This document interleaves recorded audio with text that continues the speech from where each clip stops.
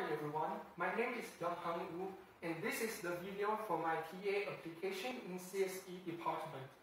The topic I'm going to talk today is sorting algorithm. Before we talk about the topic today, let's talk about what is a sorted list. A sorted list means that the value of each element in the list is greater or equal to the previous one. And what sorting algorithm does is to make any arbitrary list into a sorted list. So the first sorting algorithm I'm going to introduce today is selection sort.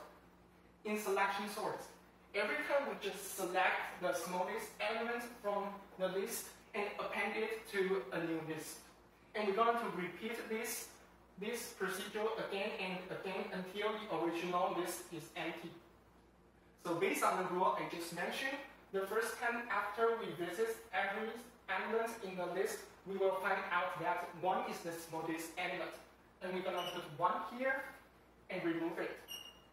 And we're going to do the same thing and we'll find 2 is the smallest element in the remaining list.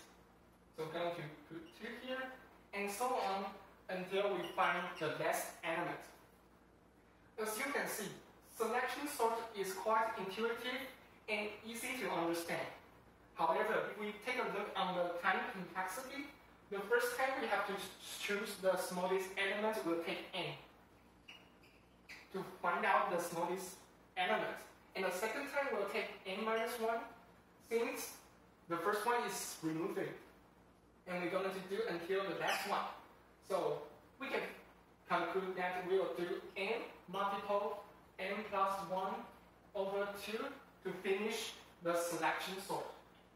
Which means that the time complexity will be big O n squared. So now I'm going to introduce the second algorithm. It's called merge sort. And merge sort is a divide and conquer algorithm based on dividing the list into several sublists. And when the sublist contains only one element, we're going to merge them together in a manner that results in a sorted list. So I'm going to skip the divided part because it is too simple. And before we step into the conquer or the merge part, let's take a quick look on note. So if we want to merge two sorted lists, it only takes linear time, bit to finish it. And it is quite easy to understand because we have to visit all the elements in the list to get the final result.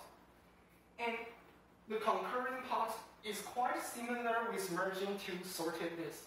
Because as you can see, they are all sorted lists right now.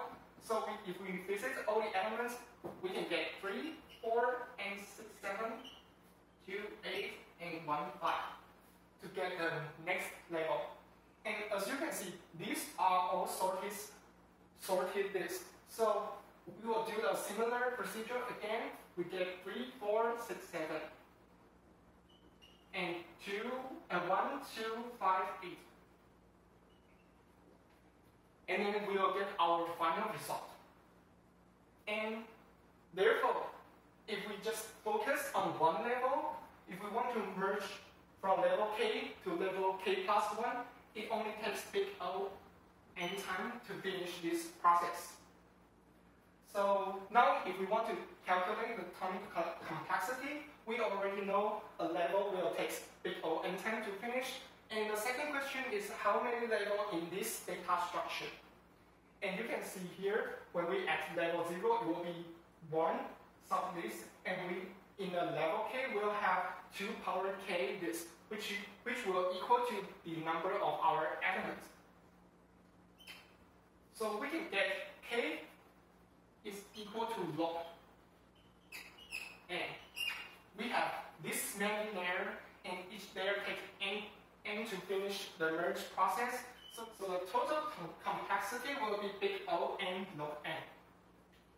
So in the brief conclusion, if you want to implement the sorting algorithm, if you choose selection sort, it is quite easier to implement. However, you will get a bad time complexity. And in other way, you can use advanced, advanced data structure to deal with this problem, and you will get a better time complexity result in this case. And this is the end of my video.